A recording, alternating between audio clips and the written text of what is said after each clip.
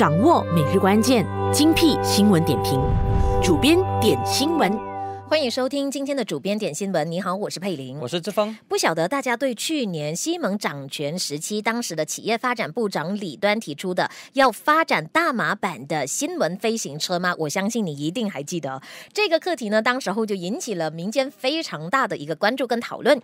那去年底呢，有一份关于空中交通的公众会报告和建议就提呈给国会嘛。今天国会公共账目委员会主席黄家和就表示说，企业发展部向公众会。表示飞行车已经不是该部的重点计划了，早就应该如此嘛。关于这个飞行车啊，过去两年我记得说主编点新闻当中，我想至少讨论超过十次，因为这项 因为这项建议，嗯 呃，好听跟正面的说法呢，就是很勇敢、很创新。那么说的直白一点呢，就是两个字离地。我也太过直白，也不敢直视它哈。那么当时呢，很多的这个专家跟学者呢，都认为说，大马没有必要在这个时候投入。入原本就已经有限的资源去研发飞行车，但是面对一连串的反弹之后呢，部长李端他就改口说，政府是没有出钱的，而是私人企业出资。可是后来被发现到政府的关联公司其实是有半钱有出钱进去的，哎，这下子可不得了了。但是李端他依然很坚定，口很硬的说要推动飞行车计划。虽然这一个离地的项目已经沦为社交媒体的笑柄了。但他还是坚持，他反而指责跟批评那一些批评这项飞行车计划的人呢？你们是否定科技创新的重要性？你们的这种保守态度呢，导致马来西亚不受到别人的尊重。那么现在我们重新复习去年他所发表的这些言论，跟他对民众做出的指责的时候呢，还真的觉得这一名部长很有霸气，那个那个谁有在那边哦。那么态度和立场非常坚定，只要他认为对的东西的话，他就勇往直前，完全听不进别人的建议，就算别人批评他，他还是坚持自己是对的。回来看一下黄家和今天的文告怎么说。公账会呢，在去年十一月二十八号在国会提成报告之后呢，今年的十一一月十一号就已经接到了企业发展部秘书长苏莱尼的跟进答复，就指出说，飞行车的发展计划呢，当前不是该部门的优先重点。该部目前专注于发展企业，尤其是中小型企业还有微型企业。去年公账会呢，就敦促总稽查署查核大马高科技局子公司 VTSB 董事局所批准的。两千万令吉，现在黄家和也表示说呢，公账会也已经接获了总稽查署的这一个回复。总稽查查署呢，现在已经完成了大马高科技局的稽查，就确定说这一笔 VTSB 投资的两千万令吉没有运用在发展飞行车。那公账会呢，对于总稽查署的说明是表示满意的。因为这项飞行车项目啊，让时任的企业发展部长李端成了红人，他也被讥讽为是飞行车部长。大家不知道说他负责。的这个企业发展不是搞什么的，只知道说一个东西，他就是搞飞行车而已。那么原本以为李端会在国盟政府，就是新的政府总会被刷下来，失去部长的这个职位，但他依然获得穆尤丁的重视，受委部长。不过呢，却是职务和影响力较弱的首相署特别事务部。那么到底这是什么的一个部门？什么是特别事务呢？其实外人都不太清楚。那么其实呢，首相交代他去执行什么任务的话，那么他就去执行这些任务咯。那么没有特定的这个范畴。不过呢，目前他所处理的呢，都是跟新冠病毒有关的事情，所以这些呢，就是他的嗯特别事务吧。去年底，公账会呢就揭露李端没有妥善计划，没有通知内阁就推行飞行车计划，并且宣称说使用的是本地技术。但是公账会呢发现原型其实是。日本制造的。根据公账会的报告，大马高科技局独资的子公司呢，也就是 VTSB 呢，是设立于二零零九年，是透过持股和投资的方式协助发展的。大马高科技局呢，此前的时候呢，是隶属于首相署，在二零二零年四月开始呢，已经转由科技及创新部负责监管了。二零一九年五月的时候呢，VTSB 动数据就批准了两千万令吉的资金投资到 AVSB。不过呢，这一笔投资。呢，并不是用以发展飞行车，而是打造位于赛城的数据处理中心，以便推行研究，还有一些计划。关于飞行车跟李端啊，其实有很多小故事可以分享的。这里我就只挑一则哈，因为是他骂人的新闻是非常精彩的。那么去年三月呢，他指责那些看不起飞行车的人，就是拒绝拥抱科技、不愿意创新。他甚至把这一些人跟已经去世六十五年、二十世纪最伟大的科学家之一爱因斯坦也搬出来，成为了他的这个例子。他就以爱因斯坦为例子说，他称赞外国人。对科技保持着开放的态度，愿意接受和尝试各种全新创新的科技。他接着就批评大马人反而是反道而行。我们不能够成为受尊重的国家，就是因为我们的态度。要是爱因斯坦来自马来西亚的话，或许国家无法进步，因为我们经常否定企业家的意见。哇，老听到这一番言论的时候，我真的不敢恭维哦。到底飞行车跟爱因斯坦有什么关系呢？我们不是完全否定飞行车。不是完全啊拒绝这项飞行车这个政府的项目，而必须要有轻重优先秩序之分。就比如说，我们在安排日常公务的时候，也有轻重缓急的分别。什么东西是最重要跟最迫切的？有些时候某一件事情是很重要但不迫切，有一些时候呢则是紧迫但不重要。飞行车、飞行车、飞行车是不重要也不紧迫，为何要优先处理呢？了呗。我们先让男主编喘一口气，下一段回来呢，我们就换一个。焦点来关注一下，行动党资深领袖邓章清呢，今天就宣布说不参与接下来的党选还有大选了。掌握每日关键，精辟新闻点评，主编点新闻。行动党的资深领袖邓章清呢，今天就宣布即将离开政坛，不会参与两个星期之后的行动党的党选，同时呢，也不会在来届大选中上阵。接下来我们关注更多，我是佩玲，我是志峰。他今天就在脸书发表了退师表，他就指出说，一旦雪州议会解散之后呢，他将不会寻求连任。换言之，他的州议员和行政议员的任期呢，将会在来届大选之前结束。他也不会竞选行动党的中央和雪州的党职。好了，那么其实啊，前几天呢，《东方日报》已经抢先独家报道邓章清可能退出政坛的新闻，当时呢已经引起了一些关注。不过当事人是没有回应。今天他终于告诉大家他的想法了。那么说一些我对邓章清的一些看法哦。他在担任雪州八达岭再也不给高兴州议员，就是一九九五年到九九年期间就认识他，算起来也应该有二十多年了。那个时候呢，他应该是社青团的团长。那么我还在大学念书，而在那个时候呢，就是一九九八年。九九年烈火末系风风火火的年代，当时的社会运动非常的蓬勃，而当时的安华因为他的这个黑眼圈嘛，打了八毛，震惊了整个马来社会。当时吉隆坡几乎每一个星期五的中午，就是穆斯林祈祷之后呢，都有大小不一的这一个集会游行，抗议马哈迪的滥权啊，跟警察的暴力。那么当时呢，邓章清和一些年轻的社青团领袖就积极跟大专生有一些接触，而社青团的总秘书呢，就是目前有超人之称的邱光耀。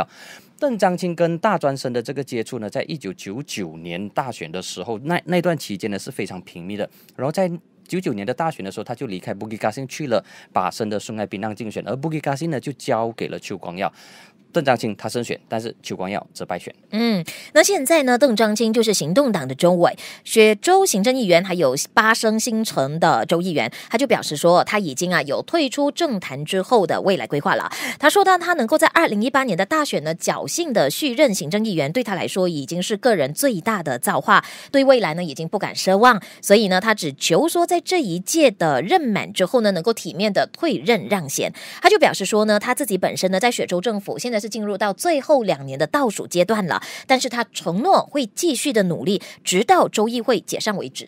邓章清呢，他在党内一直都被视为非主流，不管是在中央还是在雪兰呢，他就有一点类似独行侠的作风，不买对哦。他凭着自己的能力跟影响力，在基层和在华社中建立起他本身的形象和地位。那么我对他印象比较深刻的事情呢，是十年前，就是二零一零年。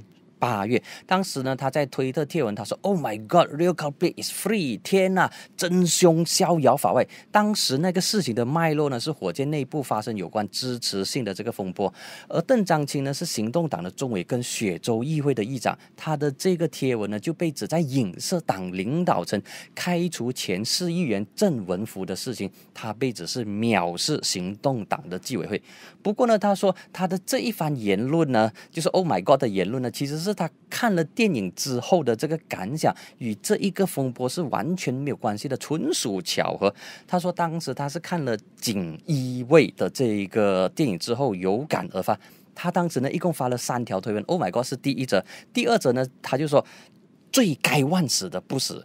最不该死的却死了，这样的戏才有张力。那么第三则推文呢，就是说为了记录在案，答案呢就是锦衣卫。当时呢，他是出席呃柔佛州的一场晚宴，他在漫长的车程中，他就看了这两套电影《锦衣卫》跟《十月麦城》。他当时的这个回答，他当时处理这场风波呢，其实是彰显了他的这个政治的智慧。当然，他口才跟才智也是一流。他担任议长跟行政议员期间呢，交出了不错的成绩。邓章清就表示说，现在他认为啊，行动党是人才济济的，所以他自己呢是选择退位让贤，免得阻碍他们的发展。他说，如果我是续任的话呢，必定会成为雄才大略的同志们前进的障碍。因此呢，退位让贤显然是最得体的一个选择。工程不必在我，我选择离场，但仍然会在场边打气喝彩。他就表示说，虽然他选择离场，但是呢，他是愿意跟。行动党分享自己参政的时候呢，所累积的一些经验，他就列出了自己从政三十年的一个政绩。他在一九九零年大选之后呢，就加入到行动党，之后经历了六届的大选，担任议员二十五年，行动党中委二十四年，也曾经担任雪州一届的议长，还有两届的行政议员。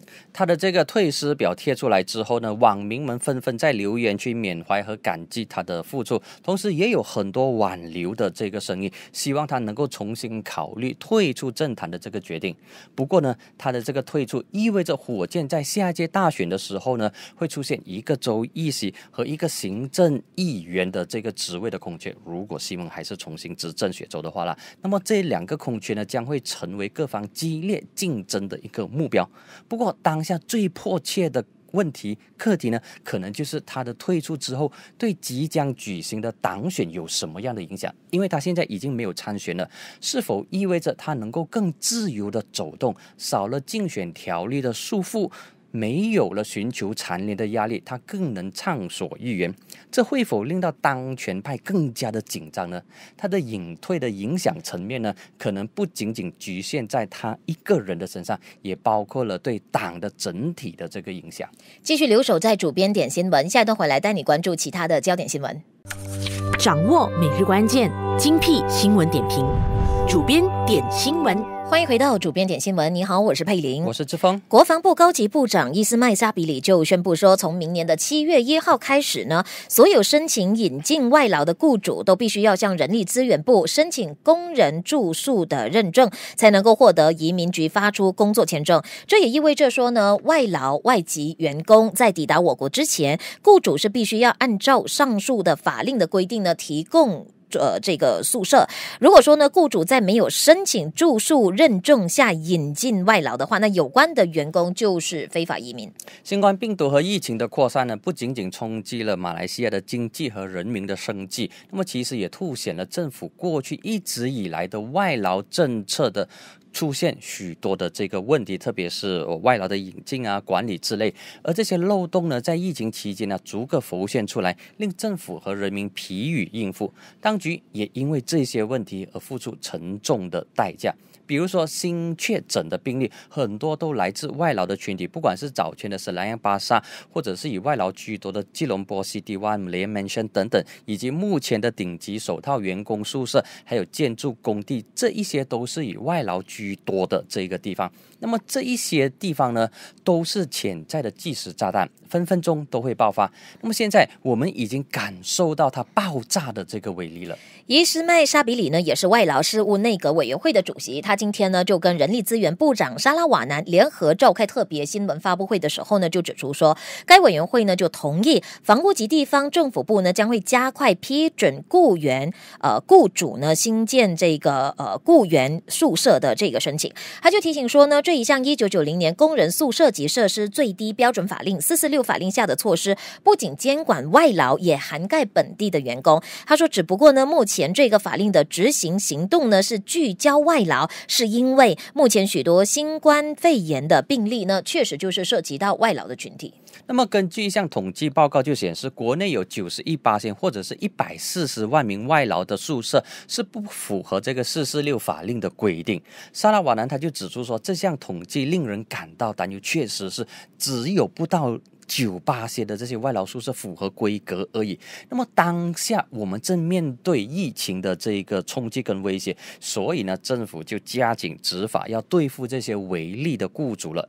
截至十月三十一日，政府接获的这个工人住宿的认证本阿关本伊那办的申请呢，仅仅是涉及国内一百六十万外劳当中的不到九八千，或者是只有十四万人而已。嗯，部长呢就指出说，这个情况呢就显示啊，国内绝大多数的雇主还有工人宿舍提供呢是呃没有呢向这个半岛劳工局申请到住宿认证的。那其实呢，在今年的九月一号以来呢，半岛劳工局已经展开了一千八百五十项的检查行动，涉及半岛还有纳缅一千多名的雇主，还有三十七家的宿舍供应商。那么其实呢，疫情之下，不仅仅是马来西亚受到这些外劳因素的这个影响。早前呢，我们的邻国新加坡，他们主要的感染群呢也是来自外劳，所以呢，新加坡政府就想了一些啊对策的方式，把外劳集中在一个地方，同时呢，也改装一些床，把他们全部集中在一个地方，方便管理。那么通常呢，外劳的居住环境呢都是比较拥挤的一个地方，住宿条件呢跟卫生环境也不太理想，容易造成病毒的感染跟扩散。那么，随着这项明年七月一日生效的新措施之后呢，相信雇主和老板们呢将会投诉 complain 说他们的营运成本将会增加。那么，在疫情之下，原本做生意就已经很难了。那么现在为了要符合新的这个四四六号法律，成本肯定会增加，但是价格呢却不能够很明显的上调，否则的话呢，你会流失客户。或许雇主们接下来他们会做的，根据普通的这个想法呢，就是他们会向政府提出 complain，然后接下来就要求援助。我们其实应该要冷静的坐下，现在最需要思考的呢，就是如何让马来西亚的商家跟企业减少对外劳的依赖。这个才是重点，这个才能够一劳永逸的解决问题。其实过去很多的经济学者、经济学家都已经提到说，马来西亚不能够过度依赖外劳。比如说，我们可以进行的，就是通过自动化。跟机械化的方式减少对传统人手的这个依赖，而这个自动化、啊机械化其实是每一年的财政预算当中都有提出相关的拨款，但是中小企业呢都基于各种各样的这个原因，没有正面的去回应这一些自动化跟机械化减少人力的这个措施，因为对他们来讲说，请人是最简单的，如果要机械化跟自动化的话，你需要投入一笔资金去买那些机器，要操作它，所以这些呢都是要整盘。谈的计划来解决减少外劳的这个依赖，这对国家来说呢是一个长远的课题呢。也希望说经过了这次的事情之后，我们能够有更好的解决方案。谢谢你关注今天的主编点新闻，谢谢志峰。明天同样时间一起听懂更多，掌握每日关键，精辟新闻点评，主编点新闻。